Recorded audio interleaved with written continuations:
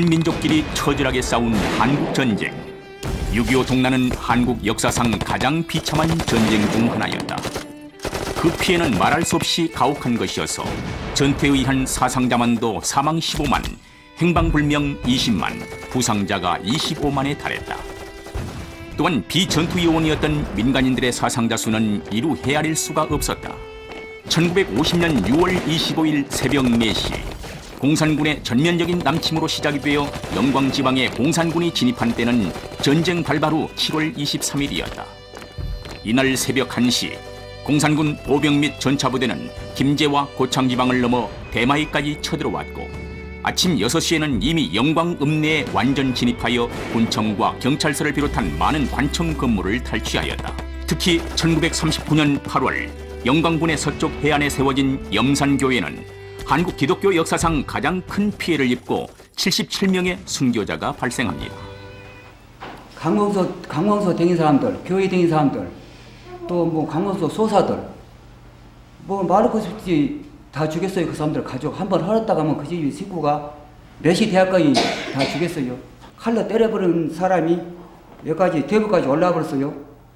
그 높은 데까지 올라갈 때 사람이 어쩌게 많이 죽었습니까? 그래갖고 모가지가 달랑달랑하고 포리가 그래서 벌거지가 나고 그럼 마파람이 세게 보면은 물이 많이 들어 세게 보면은 이제 숨은 데까지 그 십자가 떠밀려요. 등거리서 뭐가지만 없어. 그리고 없고 다 그러고 파고. 그렇지게 아이고 말로 못해라. 참 못 죽은 게 살았지.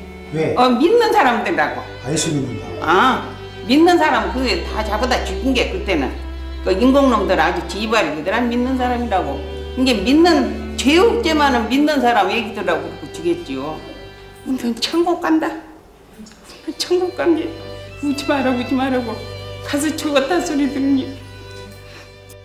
이로써 염산교회의 전체 교인 3분의 2가 희생되었고 또한 염산교회의 2대 목사였던 원창권 목사와 그 가족 모두도 영광에서 순교하므로 염산교회는 제1대 허상장로, 제2대 원창권 목사, 제3대 김방호 목사 등 교역자 모두가 영광의 순교의 열차를 함께 타게 됩니다. 그럼 왜 공산군은 이렇게 염산교회 교인들을 주축으로 죽였을까요?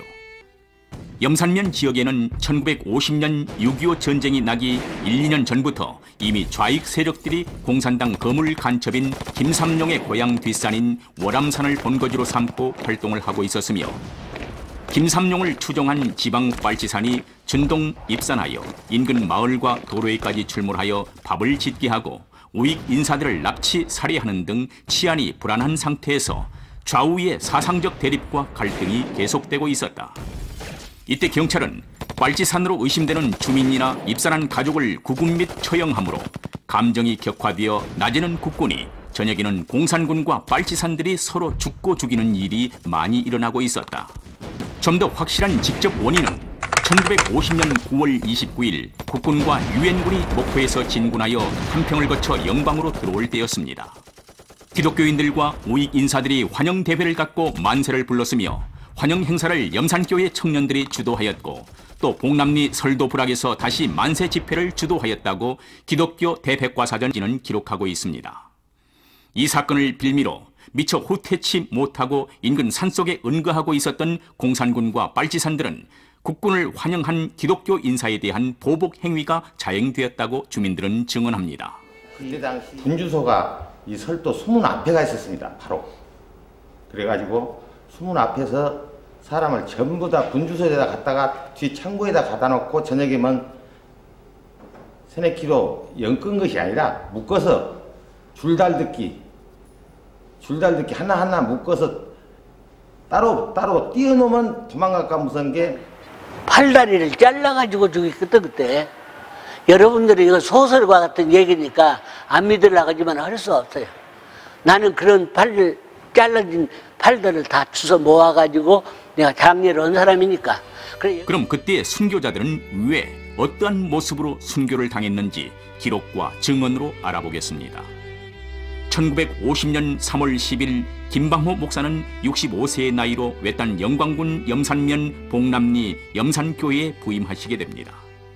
그런데 이곳이 바로 민족의 지도자 김방호 목사의 순교 장소가 될 줄이야 누가 알았겠습니까? 7월 23일 북한 공산군이 염산교회에 들이닥쳤다. 오전 예배를 마치고 밤 집회를 시작하려고 종을 치러 나간 사모님은 끝내 종을 치지 못하고 울며 돌아옵니다.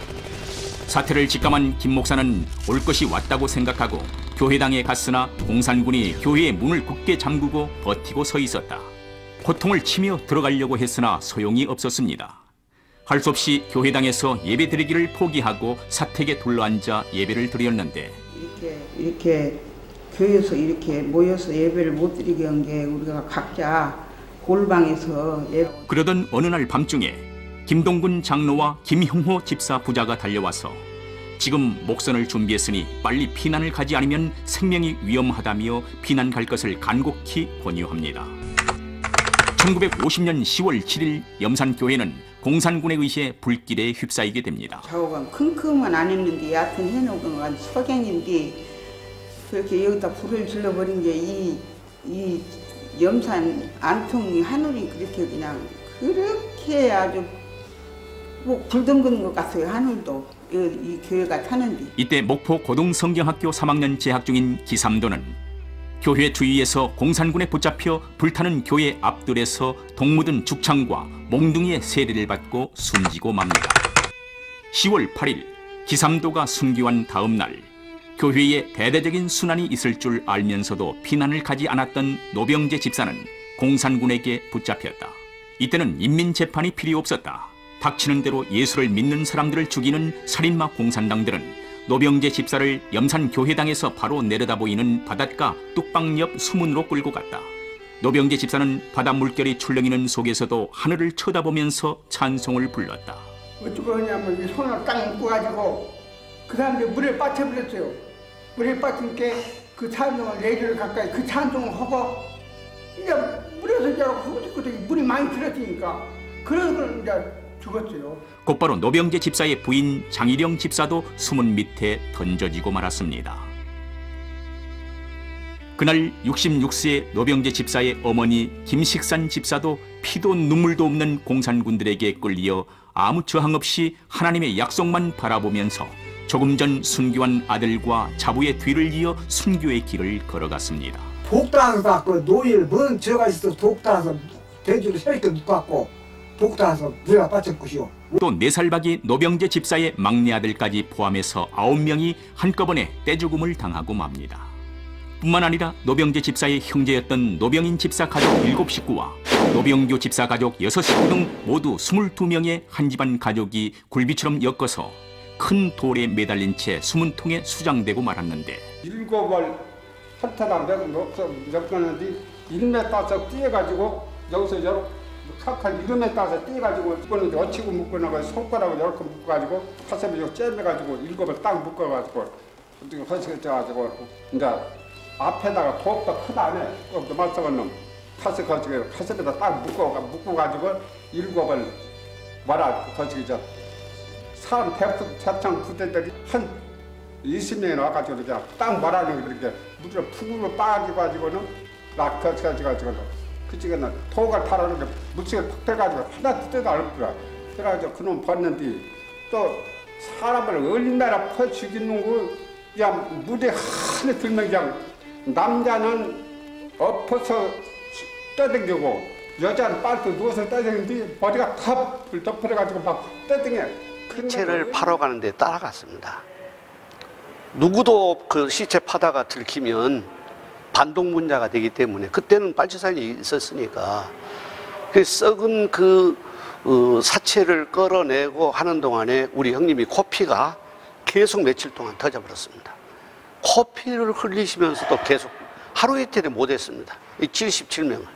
그래서 많은 한나 한 분 한 분을 이 매장한 것이 아니라 한꺼번에 막 해놓은 게 뒤섞여져 가지고 아까 말씀하잖아요. 옷을 보고 색깔을 보고 찾았다고. 그때 내가 볼 때는 둥둥 떠다녔습니다. 그리고 저기 여기 뚝 밑으로 어, 전부 바다에는 이렇게 시체들이 파래가지고 부어가지고 막 있으니까 눈을 이곳은 물 좋고 산 좋은 염산의 젖줄과 같은 곳으로 여름이면 목욕탕이며 빨래터로 사랑받는 곳입니다.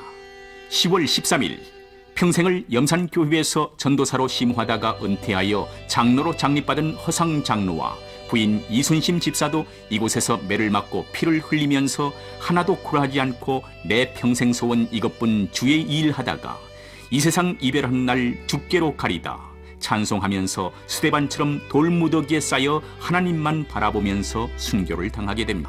먹고 하는 손을 막 차운 손가락 흔들어 이제 그말 끝에 이제 동해물을 합주다. 근데 그 식구를 어디로 가지고 한 숟가락에 올라갔어. 한 숟가락에서 지금 보더라도 지금 될것 같아서 죽었다고.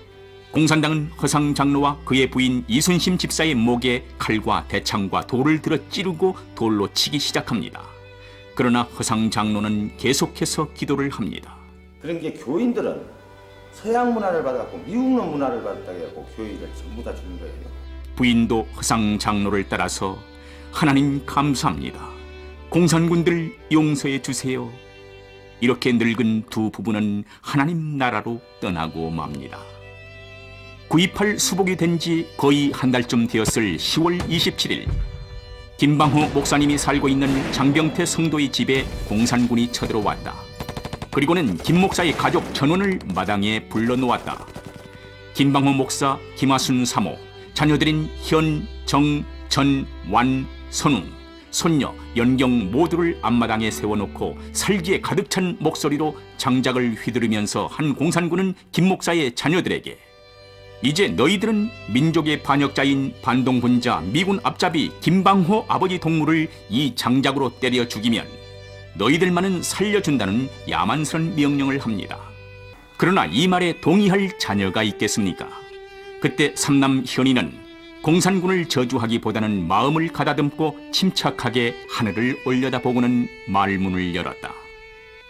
주님, 주님, 하나님의 뜻이면 순교의 영광을 주옵소서. 국군에 쫓긴 공산군들은 아버지를 죽일 수 없다는 자녀들 앞에서 아버지인 김 목사를 때리기 시작했다. 이때 김방호 목사는 그 아픔도 잊은 채 기쁨에 찬 얼굴로 찬송을 불렀다. 아버지 김방호 목사가 부르는 찬송을 마당에 둘러서 있는 자녀들도 같이 부르기 시작합니다. 공산군이 내려치는 장작으로 맞으면서 피를 토하고 쓰러진 김 목사는 자녀들에게 외쳤다. 너희들 절대로 이 사람들을 미워하지 말고 무서워하지 말라. 몰라서 그러는 거야. 김방호 목사는 마지막까지 얼굴 표정 하나 찡그리지 않고 자녀들이 보는 가운데서 먼저 영광된 순교의 길을 걸어가셨습니다. 다른 가족들의 입에서도 찬송이 끊이지 않았습니다. 공산군들은 찬송을 부른다고 소리를 지르면서 네 살 난 손녀 연경이까지 장작으로 때려서 죽이고 맙니다. 이렇게 우리 민족의 지도자인 김방호 목사와 가족 8명은 순교를 하게 됩니다. 순교자. 그들은 주님을 사랑하는 데 땅끝까지 가기를 발걸음을 멈추지 않았고 목숨까지 자신 전부를 바치기를 머뭇거리지 않았다. 더구나 해방된 땅에서 한 핏줄의 동포로부터 당해야 했던 순환은 이 민족이 일제에게 당하는 고통보다 더하는 살을 도려내는 아픔이었다. 오늘 우리는 역사적인 사실에 대한 비판과 평가를 소홀히 할 수 없으며 특히 공산주의와 6.25 전쟁을 잊어서도 안 되며 잊혀져가는 순교자들을 기념하면서 흐트러져가는 믿음을 점검하는 계기가 되어야 하겠습니다. 순교자의 피는 지금도 우리 속에 힘차게 흐르고 있습니다. 이 순교는 우리 모두 함께 부르는 이름이어야 하고 영광이며 노래이어야 합니다. 그리고 더욱 영광스럽도록 믿음의 후예들이 되어 이 길을 따라야 할 것입니다. 저거는 천국 가 있을 것이. 아멘.